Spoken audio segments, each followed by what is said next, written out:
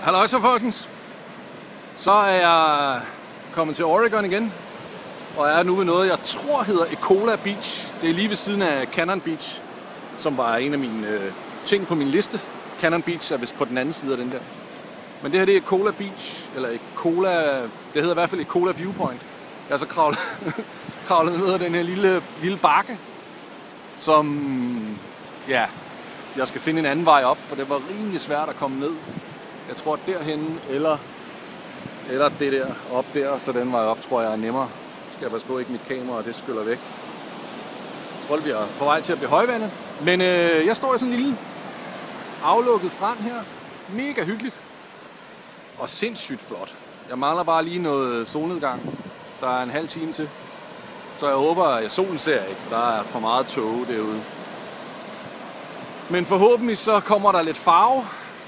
Det her bliver lidt øh, andet end hvidt. Men øh, vi får se. Det kan være, at jeg faktisk bare skulle kravle derop. Anyway. Det er et super sejt sted. Bølgerne smadrer ind mod klipperne her. Det ser vildt fedt ud. Okay, jeg tror, at det øh, er seriøst ved at blive højvandet. Det kan godt være, at jeg skal tage mit kamera og et andet kamera og min taske og måske bare komme derover og så kravle op og så håbe på noget farve deroppe fra. Ja, det var vel øh, det var alt, tror jeg. Eller det var det. Så 47 over and out.